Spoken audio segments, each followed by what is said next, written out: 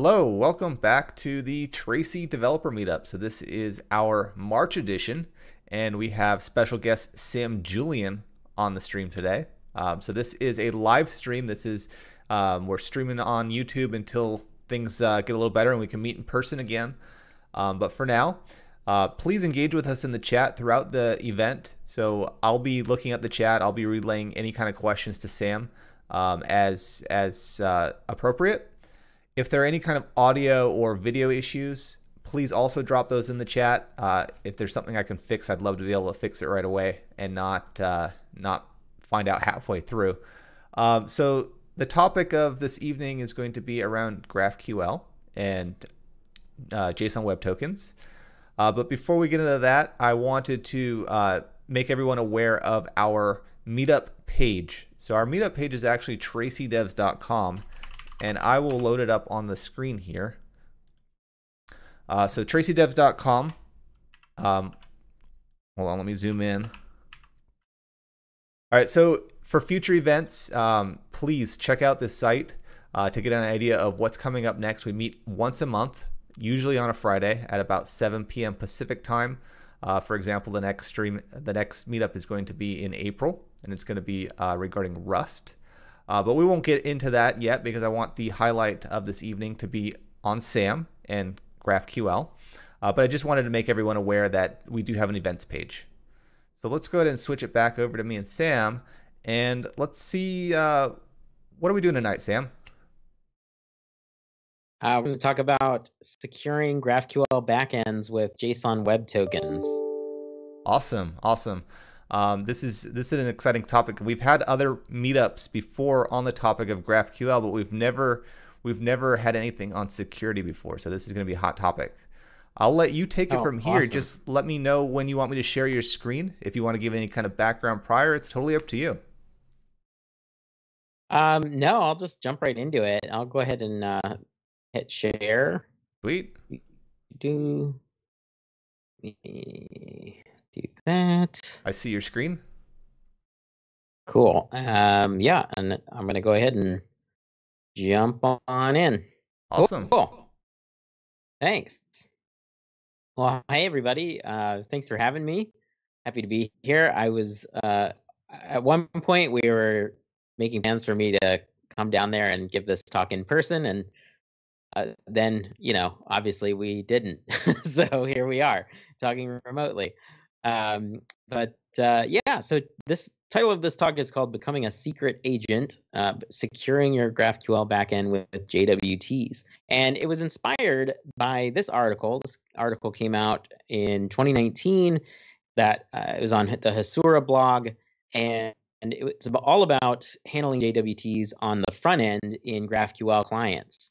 And it sparked some discussion and some controversy, and uh, got people talking, and it occurred to me that um, I didn't, I hadn't really heard many, heard of many resources on what to do with auth, auth in the back end of GraphQL clients. So I built this talk, and I've been refining it and adding to it and working on it uh, for a while now. And um, so the reason that I want to build this talk was First of all, because auth in GraphQL can be really confusing.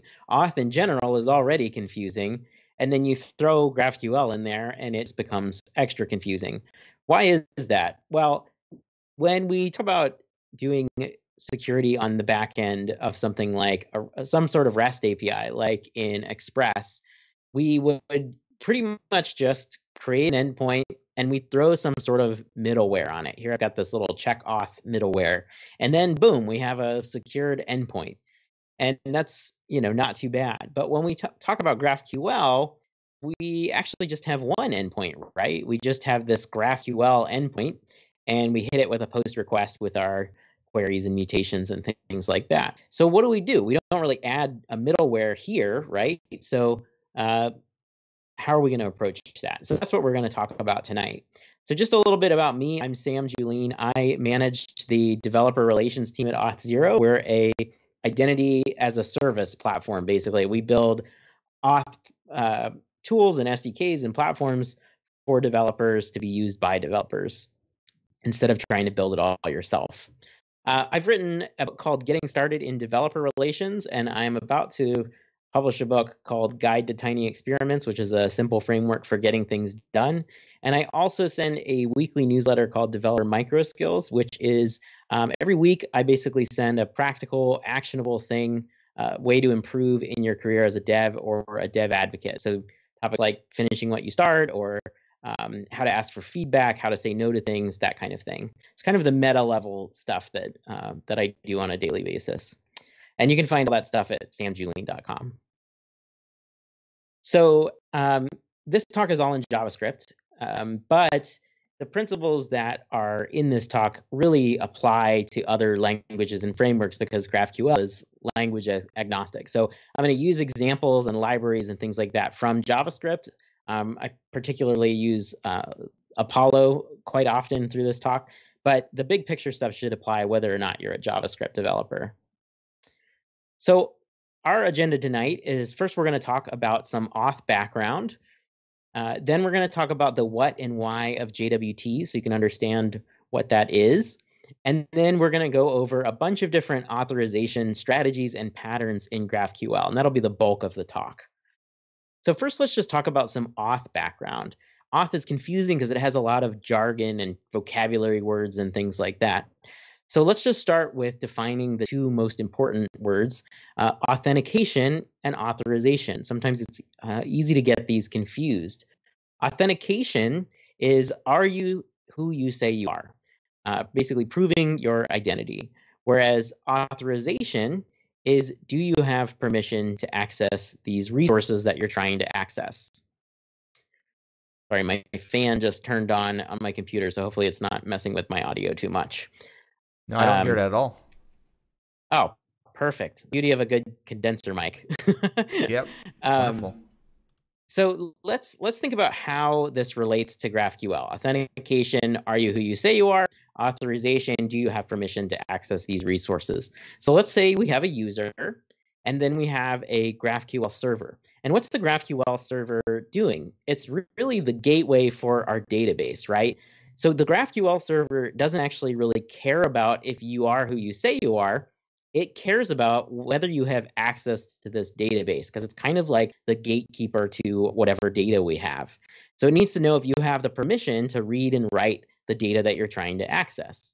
What this means is that the GraphQL server uh, doesn't care about proving who you say you are, so authentication, it really cares about who has access to what, which would be uh, authorization. Specifically, there's another vocabulary word called access, and this is what we're talking about here. We want to we, we want to concern ourselves with whether the user has access to this protected resource, and that's authorization. So let's look at an example to make this a little bit more concrete. Let's say you have your backend and your front end on the same server. Uh, so we can say we have maybe a GraphQL server of some kind, maybe Apollo or something else, and then we have Next.js on, on as our front end, and they're living on the same server. They're being served from the same server. In that scenario, the user could send credentials over to the front end, and then the front end will pass those credentials back to the server, the back end, uh, and then the server is going to issue a cookie and the cookie is going to have the session information for the user. And then it's going to send that back to the browser and everything's going to be good to go. And this is a perfectly valid way to do this when you have your backend and your front end on the same server because there's just a round trip on the same server. Nothing is traversing across the internet to other servers. But things get a little bit more complicated when we have more than uh, just the same server. So for example, a lot of modern applications, they have a front end and then they might have an API that's on a different server.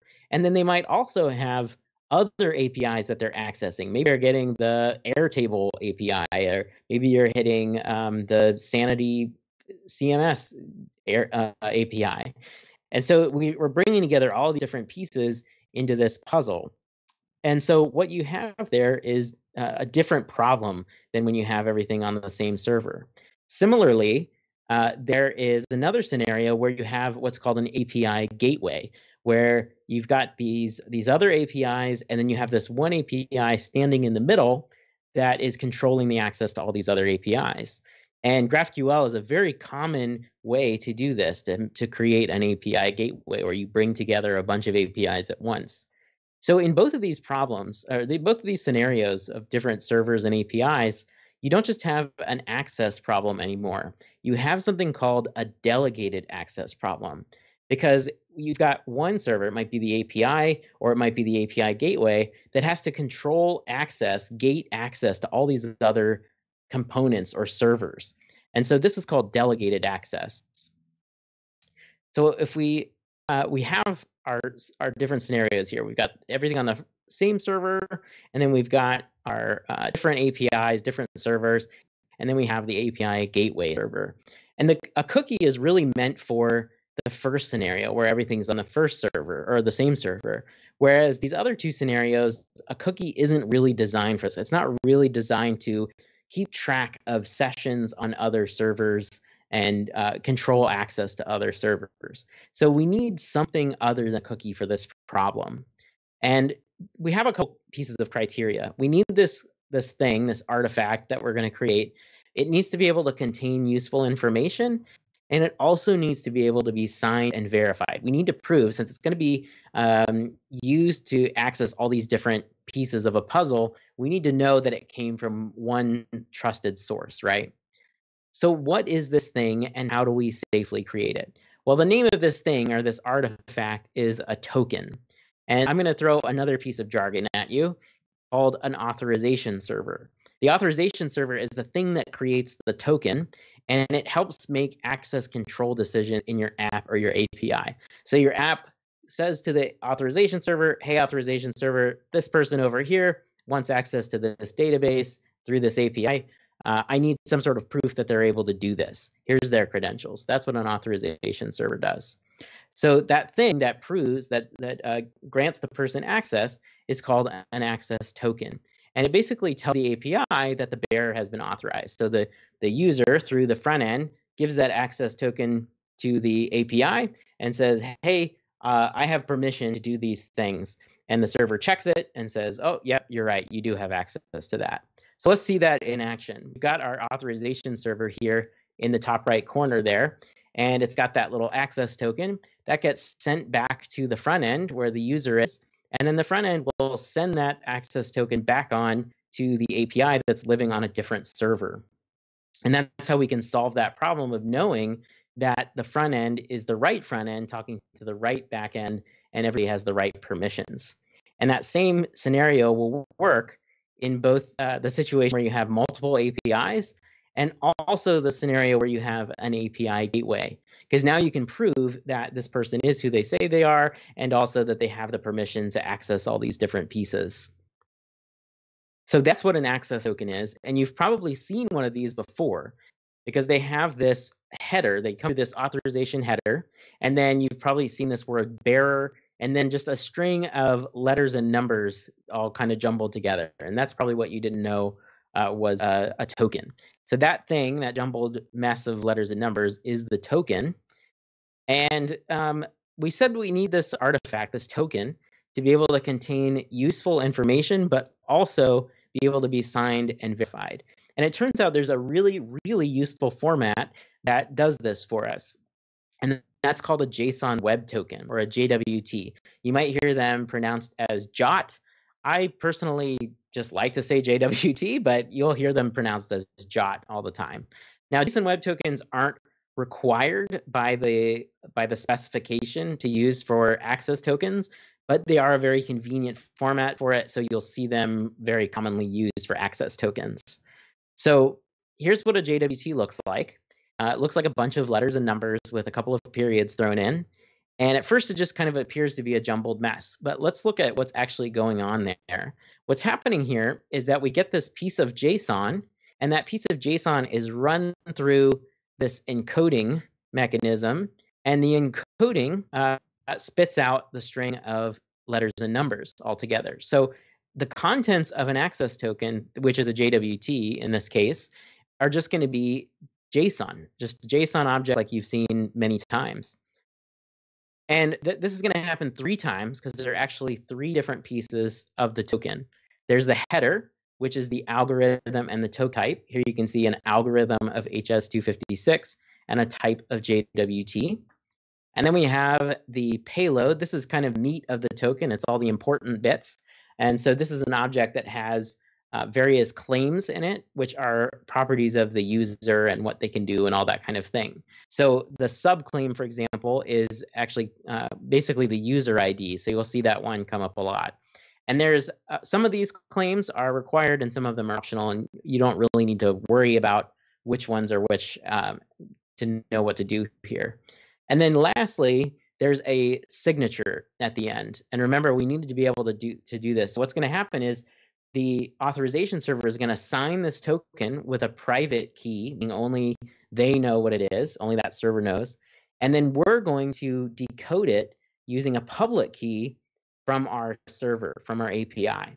And, and this is how we're going to be able to prove that this token came from this server, which is what we want to know.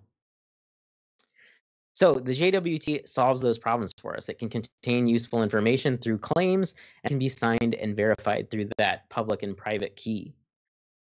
So I just wanted to show you an example of some some custom claims that you can add to the token because you can actually manipulate this token and and add some things to it. So for example, here we're using Hasura, and in this uh, in this JWT, we can add a custom set of claims uh, as long as we give it a namespace. And then in here, we can add any sort of roles or um, other properties that we, that we want to communicate between Hasura and the front end or another API or anything like that. So uh, to, to show this again, we've got the access token and it heads over to our client and then the client is going to send that over to the server, which in our case is going to be a GraphQL API. And so uh, we've got our user and we've got our uh, GraphQL server. And we mentioned how because of this, because the GraphQL server is just concerned with what's going on with the database, uh, the authentication stuff is not really happening in the GraphQL side. Really, all we're concerned about is the authorization side. So your user management stuff, the auth authentication part, is going to live outside of your GraphQL server most of the time even if it's on the same physical box or the physical machine, chances are it's going to be in a different layer than your GraphQL stuff. So that kind of begs the question that people ask, which is should just build your own authorization server alongside of your GraphQL API? Uh, and that is an interesting educational exercise that you can do. But there are some pitfalls that you're going to watch out for, that you're going to want to watch out for when you do this. For example, you need to make sure that you're able to implement proper password controls, secure password recovery mechanisms. You're going to know need to figure out how to transmit those passwords securely. Uh, all kinds of things like brute force attacks, all kinds of stuff that you have to figure out when you go from just sort of a hobby project that you're doing to learn something to actually a customer database that needs to be properly secured. Those are kind of two different things. So for the hobby stuff, it might be fine to just kind of build your own auth stuff and and uh, experiment with it. But uh, if you're doing some sort of like paid app or SaaS or something like that, you really want to consider outsourcing this piece of your app. It's just um, a really good idea to not try to do this yourself because you'll go, you'll dig into a hole deep. Now, I'm sure you're thinking like, of course, this dude like works for Auth0. Like, of course he's gonna say that but it doesn't really need to be Auth0. Even if I wasn't working for Auth0, I would still tell you that you don't really want to build this yourself. There are plenty of good options uh, to save you from having to do this on your own. So we've got our different scenarios here with our different APIs or with our API gateway and our tokens going back and forth, which are JWTs. Now let's actually dive into how to properly do authorization in GraphQL. Now, of course, uh, one thing I always have to mention as a caveat at this part of the talk, like backends and databases are complicated and nuanced. And of course, the way you write something is going to largely depend on what your data looks like and what your use cases are and that kind of thing. So you're you're going to have to take these patterns and and concepts and kind of adapt them to whatever your use case is. But this will give you a good starting point to to get started with everything. So the request is going to have the token on it. So the, the front end is going to send over this token as an authorization header. and it's going to have this bearer word in front of it. And uh, there are a couple different words that could be there, but most likely it's going to be bearer. And then there's going to be the token. So what we need to do is we need the GraphQL server to grab this token off of the request and verify it using that public key that we mentioned, make sure that it's legit, and then parse it to understand what claims are there, what the user has permission to access. That's that's the long and short of it. So how do we do that? First, we're going to grab the token from the request and we're going to add it to our GraphQL context. The context is what we can use to, it's kind of like state for your GraphQL server, basically, more or less. So when we create our GraphQL server, this is going to be using Apollo, like I mentioned in the beginning, but most of these uh, servers kind of work pretty similarly. But you can define context function and uh, you could just read the request and pull the authorization header off the request and then return it as part of the context object that's going to be available in memory anytime you run a request. So uh, that's good. We've got the token, but now we need to actually verify the token and see what's going on with it. So we're going to need to write some code. We're going to need to write a, a function called verify token, and it's going to take the token and it's return back the payload because the payload is going to have the claims that we need to be able to get the user, all that kind of thing. So we're gonna first split out from this string because we got to pull this bearer and then the, the, the JWT off. So we're gonna uh, grab the token by splitting off this string and grabbing the first element, which is really the second element, um, and grab our bearer token. And remember, um, we've got this third part of the J, of the JWT is the signature. So we need to be sure that some malicious character didn't uh, swap in their own key, their own token that they made. That's basically what we're trying to do here is prevent somebody from pretending to be somebody else and having maybe admin powers in this application. So we, we can do this by um, uh, using the public key. And the public key is available through an endpoint. There's this format called JSON Web Key Set, and your authorization server is going to have this endpoint uh, that's going to have the public key on it. So anybody can just reach out to that endpoint and grab the public key and use it to verify a token issued by the server. And those might change periodically, and that's why you have to uh, grab it from the endpoint. So this is just a, uh, a third-party library, JWKS uh, client. And so you just pass in the endpoint and uh, make this little function that's going to grab the public key and um, pass it along to our uh, our parsing mechanism, basically. So we're going to grab the public key off of this uh, off this endpoint, and then we're going to use another little library. There's there's a lot of these uh, for every ecosystem, but there's a there's a JSON Web Token node package that, that you can grab, and it'll have this JWT verify function on it. And you give that function the token and the public key that you just got. This is kind of a fancy way of doing it where you're passing in the actual function to go get the key. Um, so there's sort of some closure and stuff happening there. But basically, what you're doing is passing in the token and the public key, along with some identifying information about your um, server and also your API, your auth server and also your API. And you're just telling it, hey, um, here's the token, here's the, the key, and here's some things I expect to match up in this token, uh, like the API and the algorithm and that kind of thing. And so we can wrap this in a try catch and grab this um, uh, payload, which is what's going to come back from that verify function. And that's the payload that's going to have all the claims and all that stuff, that second part of the JWT.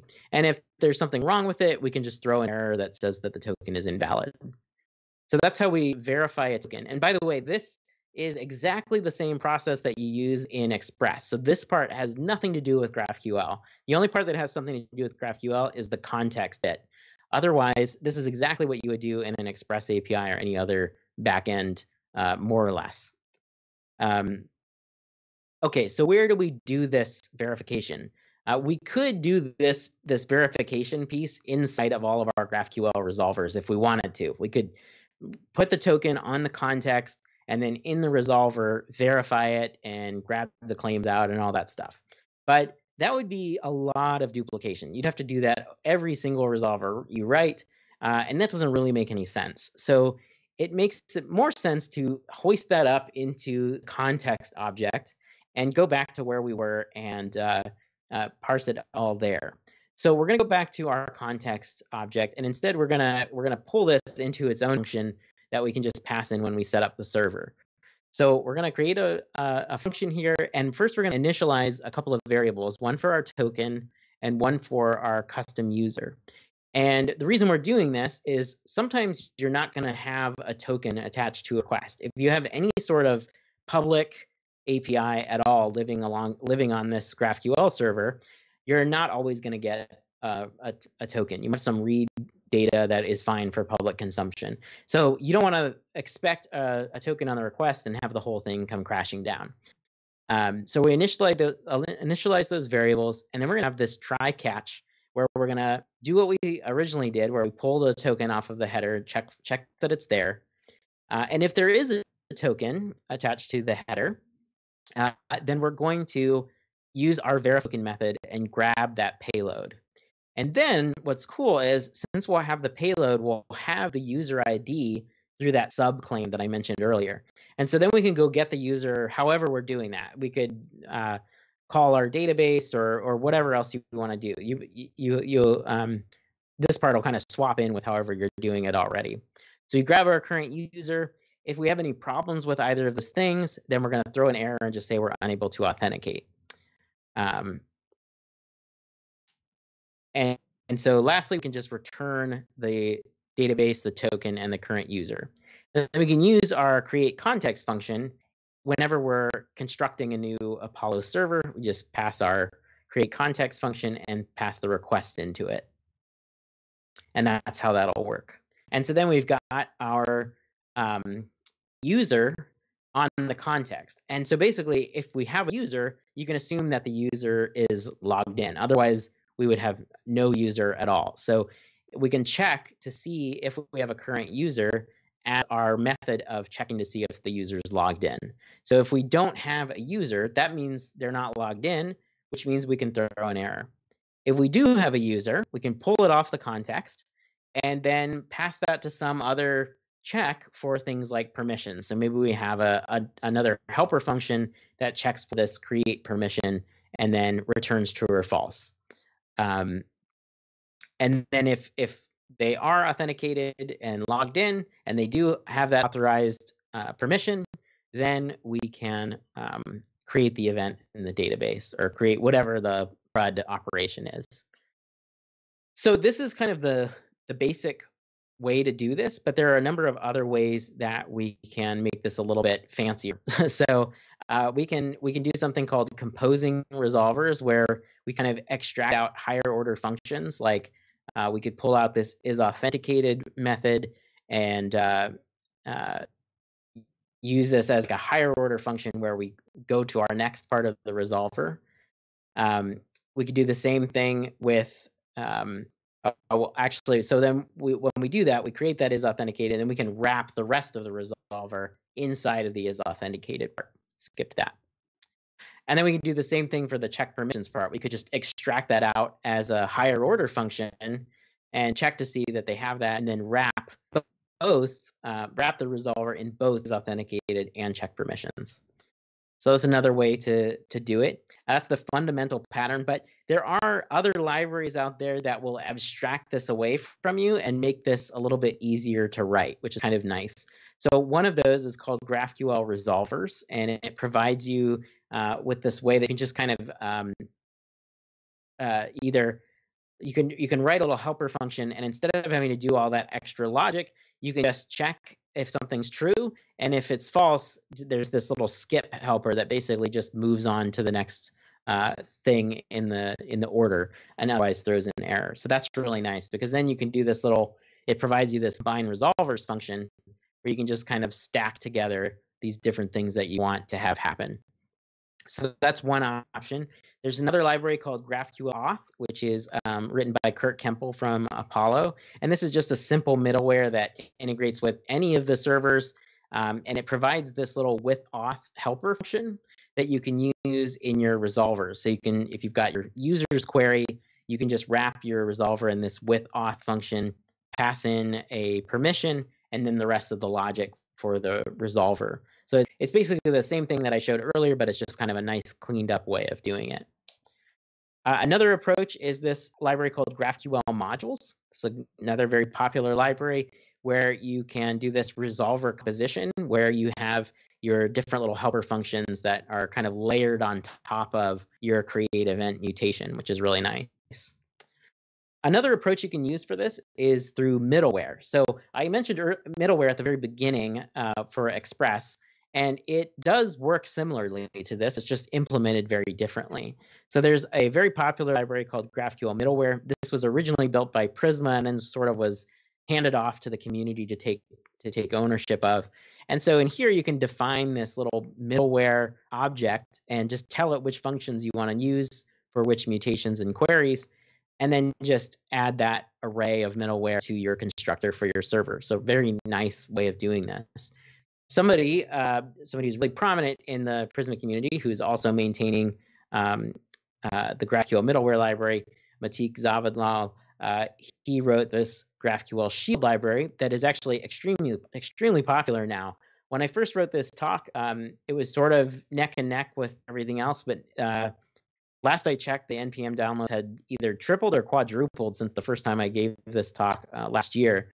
So GraphQL Shield is really, really popular for doing things like permissions and um, uh, that that kind of granular authorization. So what you do is you define these sets of rules. They give you all these helper functions, and you can define all these sets of rules, like one for is authenticated, and then you uh, use those rules with some other helper functions to define your permissions. So here, for example, you've got the events page and it's got the these permissions where you have to be authenticated uh, or uh, you have to be both authenticated or uh, an admin, either an admin or an editor. Sorry, I don't know why that was so hard to say, but uh, uh, it uses these little helper functions to make that really, really easy for you. So then you can pass in this array of permissions as a middleware when you construct your server.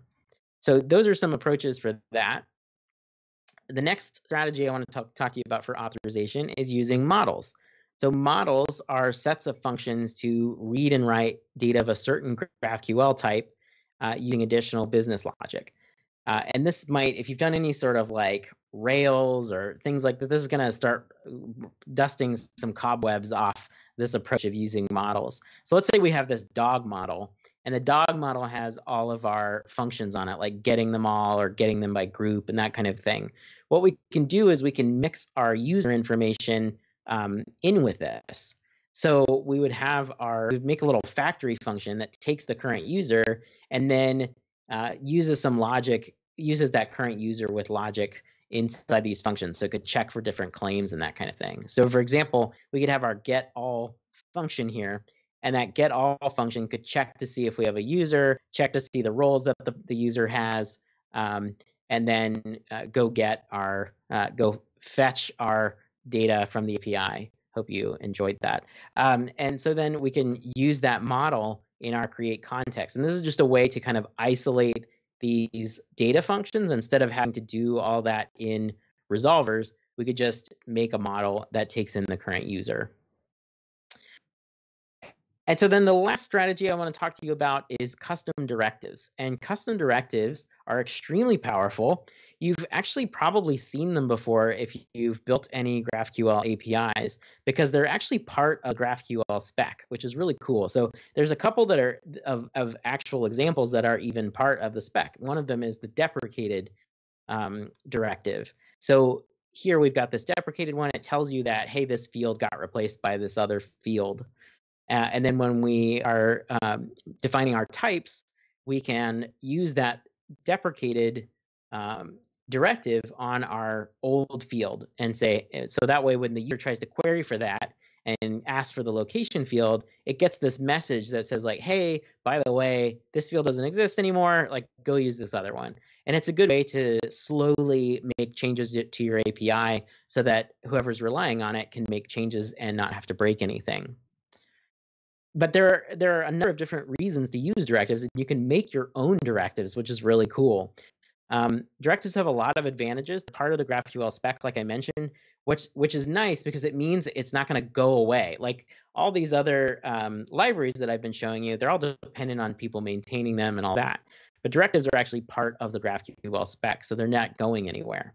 They can also change behavior at runtime. Uh, so, for example, one really common use case is internationalization, and because they can uh, do this, they have a lot of use cases. And um, common ones are like internationalization, uh, translation, uh, and things like authorization, because you're basically being able to just quickly make a change to data on the fly.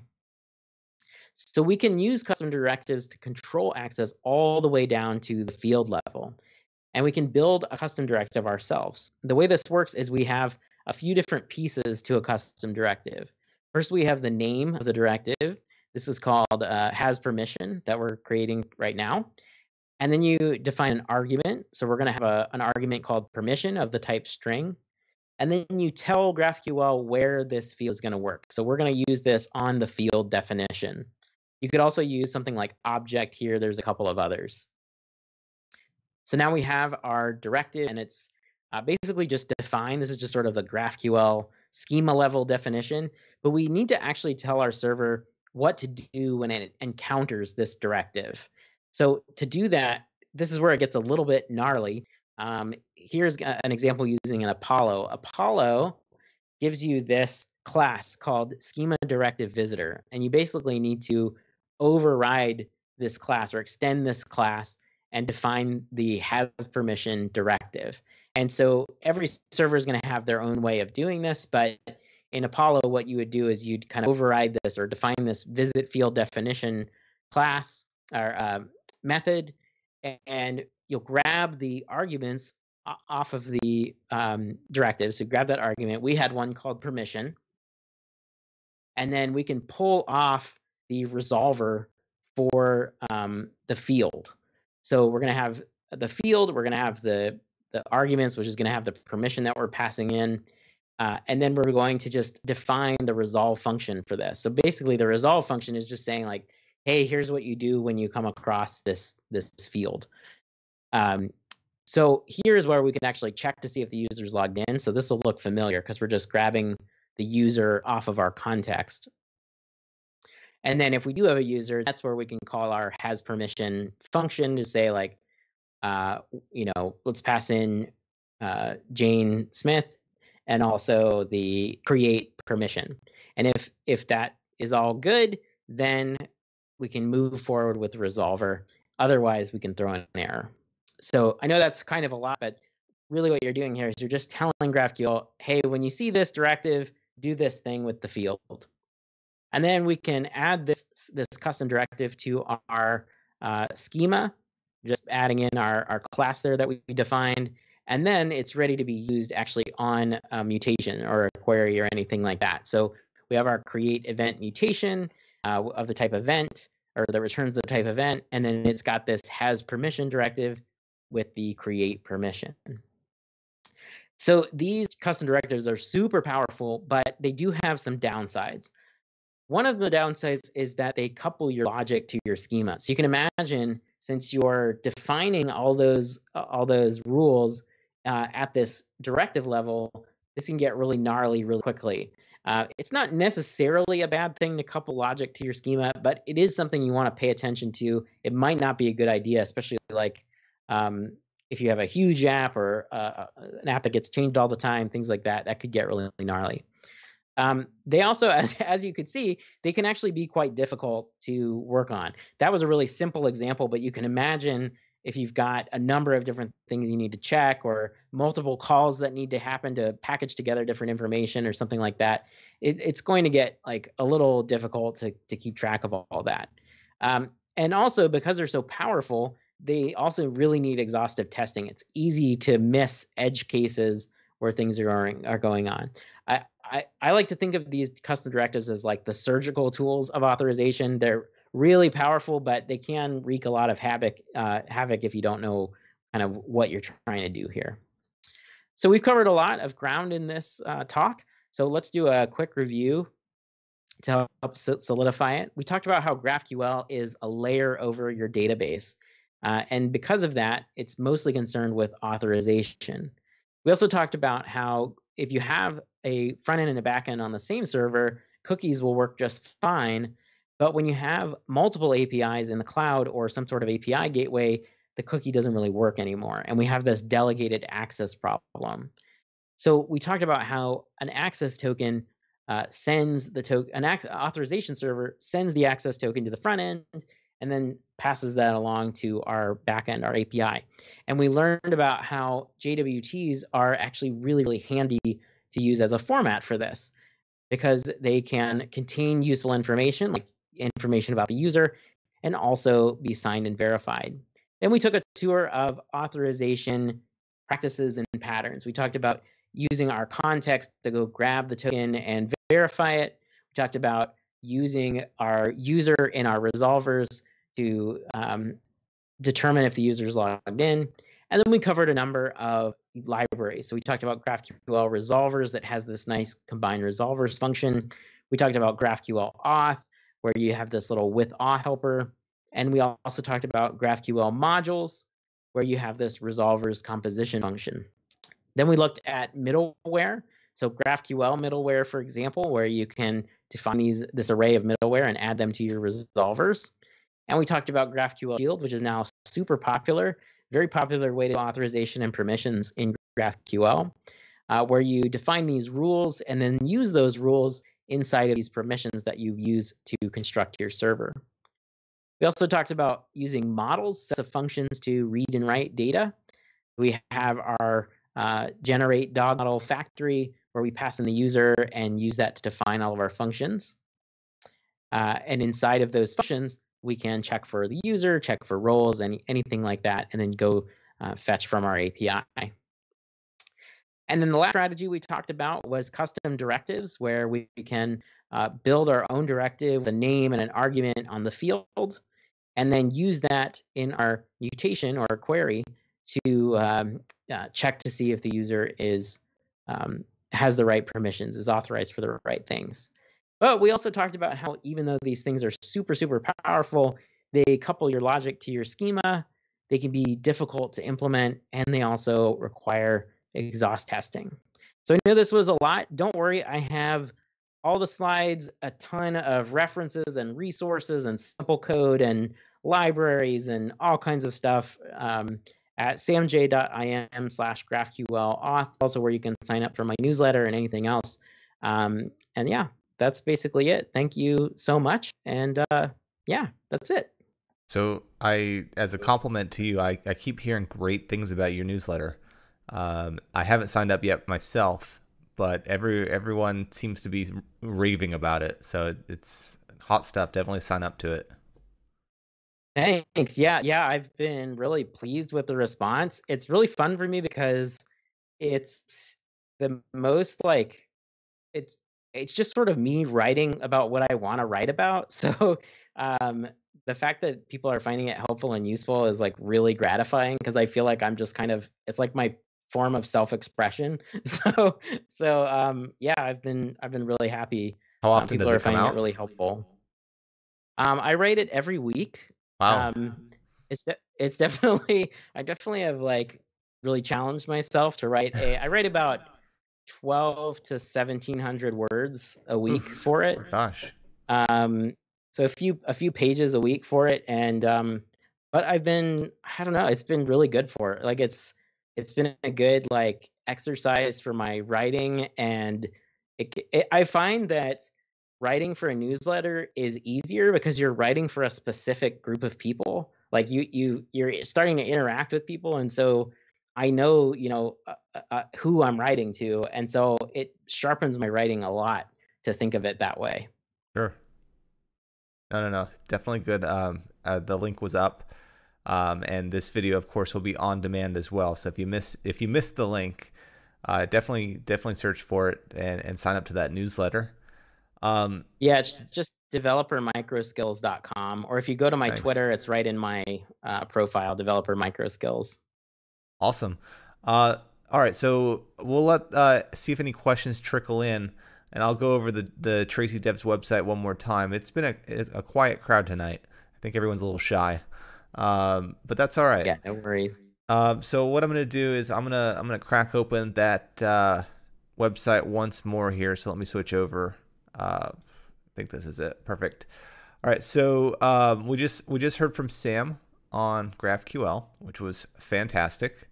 Uh, next month, the date is April 23rd, and we have a uh, repeat veteran guest, uh, Corbin Crutchley, and he's going to be going over Rust. Um, so he's going to come at it from the, the perspective of being a JavaScript developer, so getting into Rust, uh, which is actually pretty interesting. I actually started with JavaScript and I went to Go, so this this will hopefully uh, get me get me on the Rust train. I hear I hear it's uh, a lot more popular lately. To learn Rust like three or four years ago, and I just don't think I would had the skill yet to figure it out. But I definitely have been meaning to like come back around to it now that I've got some more experience under my belt. yeah, I, I kind of felt the same way. I looked at it. I attended a session once, and I was like, "What am? What did I just watch?" Um, but yeah, I think I, Yeah, I I mean, there's be. like three different ways to manipulate strings and stuff, and like three different types of strings, and so I I, I tapped out pretty early on, but Yeah, but now I I think I I would go back and enjoy it a lot more. yeah, definitely. Um, in regards to the Tracy Dev stuff, so uh, subscribe to the newsletter. Uh, so the newsletter isn't really a newsletter; it's more of a event reminder. So uh, every every month, p- about a week before the event actually happens, I send out a reminder email so that way you don't forget. And then I send out one email after the event with the information regarding the on-demand video. So uh, basically two emails per month, no, nothing more than that. Um, so it just keeps you on top of what's happening at Tracy Devs. Uh, let me let me switch over and see if there's any any comments trickling in. Nothing yet. So um, Sam, is there anything that you want to leave the uh, listeners with or the the viewers of this particular meetup? Um, no, not particularly. I hope everybody has an awesome weekend, and uh, would love to meet you in person someday. Someday it'll happen. One day. Um, it in the uh, in the email that I send out uh, to follow up with this event, uh, I'm gonna I'm gonna request um, a response to that email. So I'm gonna ask uh, who would be interested in meeting in person again. Um, and if you wouldn't like to meet in person, please also respond. Uh, so that way I can get a, a tally going of of who's interested in in socializing again and who's ready for it. Um, because uh, we do have a venue. We uh, we can meet in person if if enough people uh, feel like they are comfortable meeting in person. Otherwise, we'll we'll stick with the remote thing for now. Um, until next time, uh, catch you later, everyone. All right, bye bye, everyone.